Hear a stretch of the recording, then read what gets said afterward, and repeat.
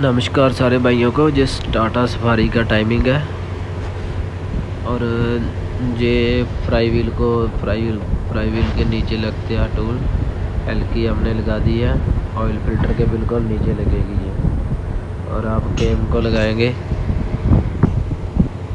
ये केम का टूल है स्पेशल टूल होता है। चलिए केम लोगी लॉक केन सेंसर इसका खोल कर उसके नीचे लगता है ये पुलर ये स्पेशल टूल लगा दिया। अब इसकी बेल्ट उतारेंगे। एडजस्टर का नट लूज कर कर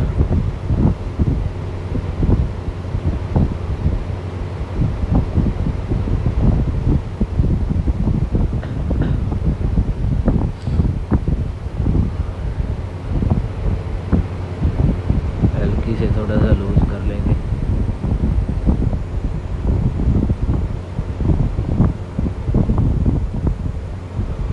जी लीजिए बेल्ट उतार दी इसकी।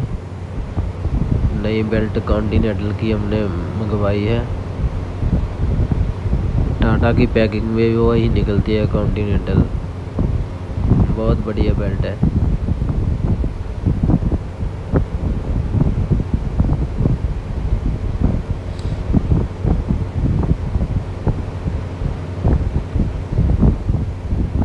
का कोई टाइमिंग नहीं होता इसका।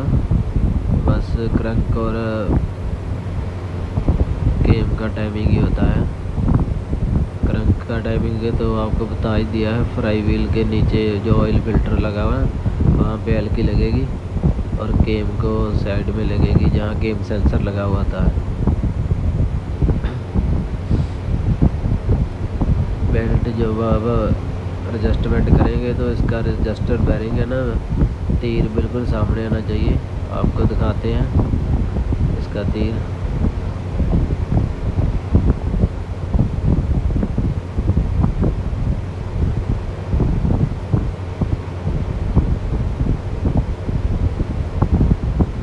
ये तीर बिल्कुल सामने आना चाहिए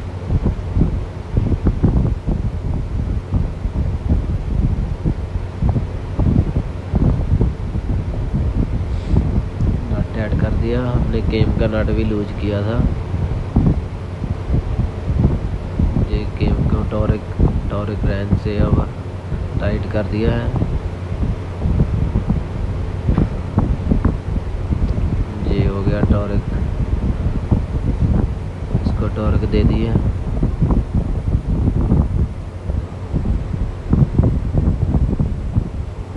भी हम एल की बार निकालेंगे और टोल बाहर निकाल कर इसको राउंड देंगे, इंजन का राउंड पूरा एक चक्कर लगाना है।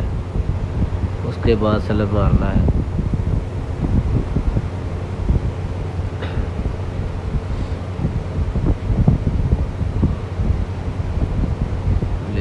छोटू मारो सलब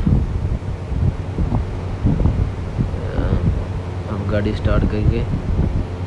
मारो सलफ